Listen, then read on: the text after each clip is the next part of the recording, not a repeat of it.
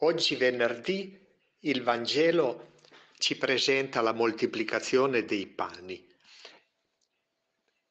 Sarebbero occorsi, diceva Filippo, 200 denari per darne almeno un boccone ciascuno e Gesù in un attimo ha fatto il miracolo.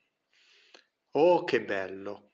Possiamo sognare e sbaglieremmo perché invece Gesù prima ha detto, voi cosa avete?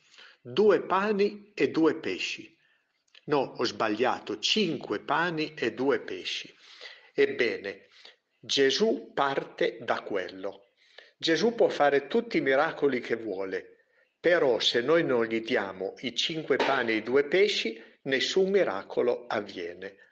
È la situazione di oggi. Evitiamo di fare poesia sul, sulla fraternità, sulla fame nel mondo, non facciamo poesia, domandiamoci, ma io i miei cinque pani, i miei due pesci, li metto a disposizione?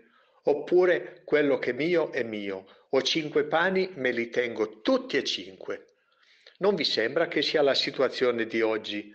I ricchi tengono tutto per sé, i poveri non hanno da tenere nulla perché non ce l'hanno.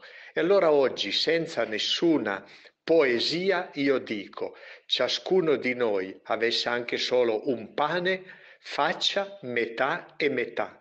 Volete un piccolo esempio? San Martino di Tours ha dato metà del suo mantello. Buona giornata.